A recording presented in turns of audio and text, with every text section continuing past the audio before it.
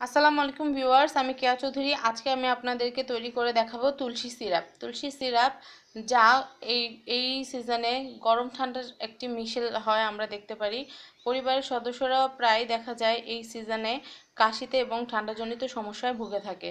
তো আমরা যদি এই তুলসী সিরাপ তৈরি করে তাদের দিতে পারি, তাহলে ঠান্ডা তাদের অনেক উপকার হবে।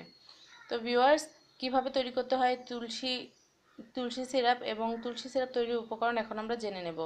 আমাদের লাগছে তুলসী পাতা, তারপর আমাদের লাগছে, আমরা তুলসী পাতা পরিষ্কার করে ধুয়ে নিয়েছি, আপনারা দেখতে পাচ্ছেন এখানে বেশ অনেকগুলো তুলসী পাতা আছে। তারপর আমাদের লাগছে আদা, এক টুকরো আদা, তারপর আমাদের লাগছে চিনি, এক টুকরো দারচিনি আর লাগছে মধু। আপনারা চাইলে এটাতে লেবুও অ্যাড করতে পারেন।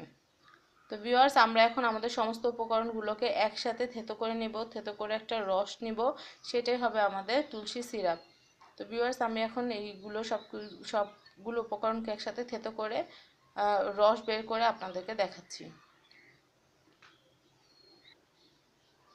আমরা আমাদের যে তুলসী পাতা, তারপর আমাদের আদা আর মধু আমরা একসাথে করে চিনিটা আমরা আলাদা রেখেছি। এখন আমরা এই রসটা হাত দিয়ে এভাবে চেপে নেব। একদম পিওর রস, আমরা এখানে একটু পানি মিলাই নিই। আপনাদের কারও যদি অ্যালার্জিজনিত সমস্যা থাকে, তাহলে আপনারা চাইলে মধুটাকে অ্যাভয়েডও করতে পারেন, কোনো সমস্যা না। আমরা যে রসটা তৈরি করছি, এটা একবারে পুরো সম্পূর্ণ খাঁটি এবং যে আমাদের যে উপকরণগুলো, এই উপকরণগুলোর নির্যাস, একদম খাঁটি নির্যাস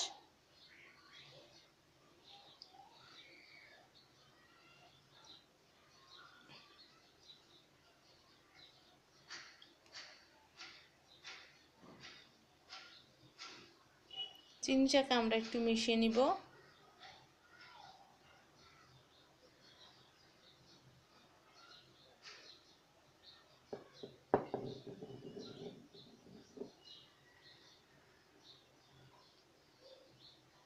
আমরা এখন একটু ছাঁকনি দিয়ে ছেঁকে নেব, তাহলে তৈরি হয়ে যাবে আমাদের তুলসী রস।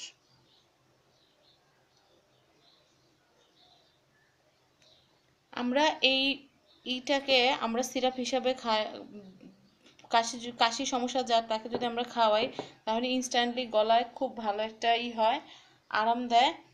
আর আমরা এই যে অংশটা আছে, এটা আমরা পানিতে ভিজিয়ে বা একটু গরম পানি করে এই অংশটাকে যদি আমরা একটু সেদ্ধ করে পানিটা পানিটা নিয়ে নেই, ওইটাও সিরাপের মতোই কাজ করবে।